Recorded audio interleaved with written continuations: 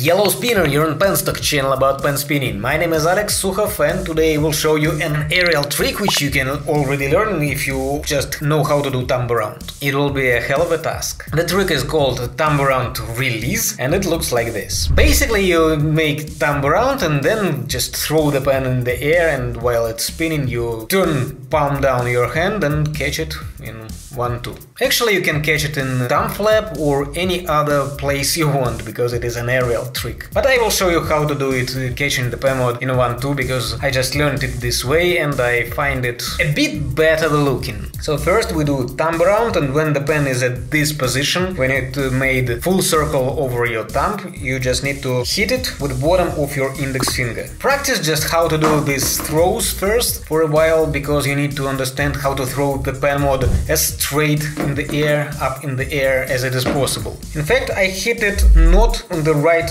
bone of the bottom, but a little bit down of this bottom. And also I aim to to the center of the pen mod or the place between center and upper cap. You need to make the pen spin in the air after you hit it, so you also will need to understand which place on the pen mod you need to hit, because it will depend on you and on pen mod you use, so you will need to find this, the right position. But I will tell you that it is somewhere between center and upper cap. You can even hear how I hit the pen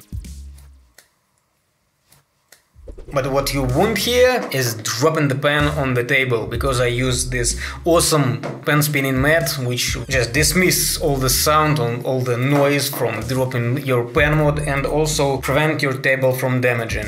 Very cool thing, and you can order it in penstock.net, of course, with the delivery to every country of the world. And while the pen spins in the air, you will need to turn hand palm down and catch it at the right moment in slot 1-2. So the pen will just fly in 1-2. For that you will need to try to keep the pen spinning in the air. Also you need, will need to adjust the force which you apply by hitting to find out how high you need to throw the pen up. So it will be enough for it to make enough circles in the air and not too much. And also you will need to figure out the right timing to turn your hand and to squeeze the pen in between index and middle finger. And I know it sounds like overwhelming, but you will understand it subconsciously.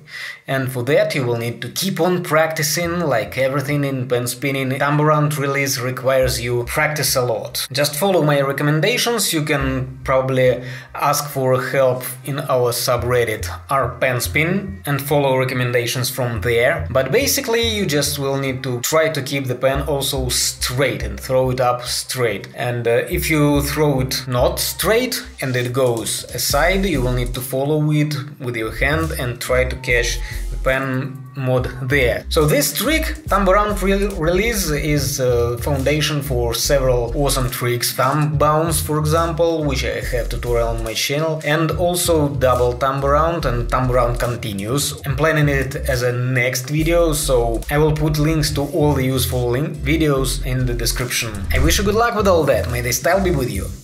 Bye.